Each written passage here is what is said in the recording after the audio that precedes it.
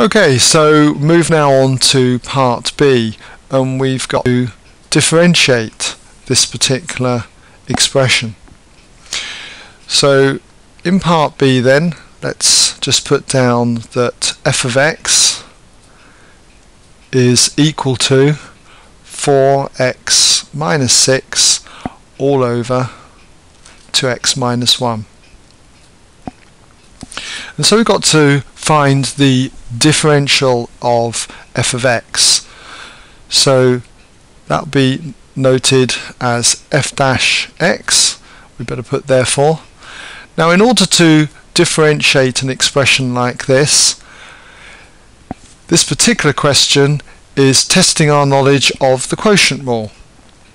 And hopefully you remember the quotient rule. Let's just recap, okay, over here on the right hand side that if you have y equals u over v, where u and v are functions of x, okay, in this case u is the 4x minus 6 and v is the 2x minus 1,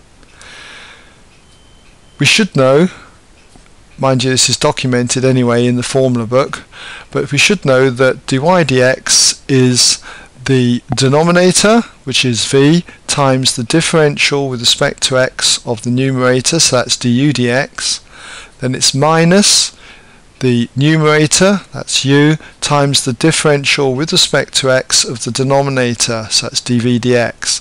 And all this is over the denominator squared, that's v squared.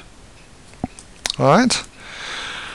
So let's just uh, go ahead and write down what f dash x is.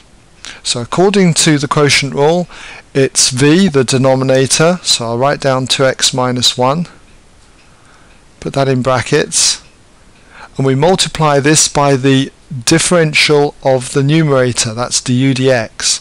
So if I differentiate the numerator, differential of 4x with respect to x is 4, and the differential of negative 6, well that's the constant and that goes to 0, so simply 4.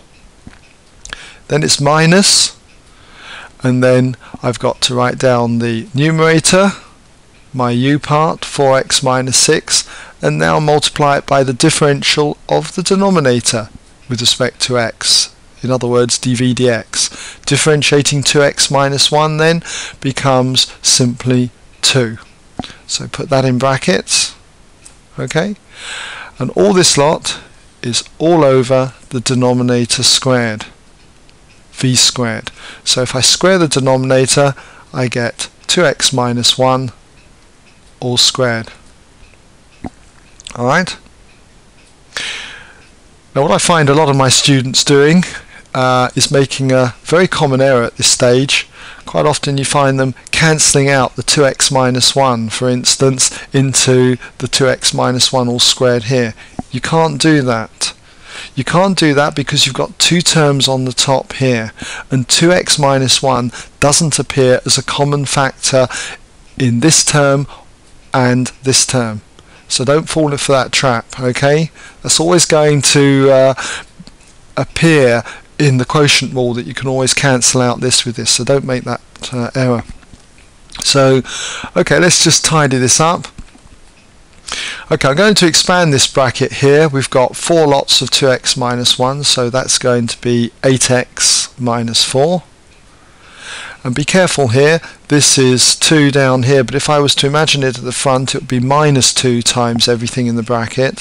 So it's minus 2 times the 4x which is minus 8x and then you've got minus 2 times the uh, minus 6 so that's plus 12 okay? And all this is over 2x minus 1 all squared so cleaning this up, we have 8x take 8x, so that's gone. And then 12 minus 4, which is 8. So that's all over 2x minus 1 all squared. Okay, so we have f dash x then expressed in its simplest form as 8 over 2x minus 1 all squared. And okay, so that brings us now to the end of question two.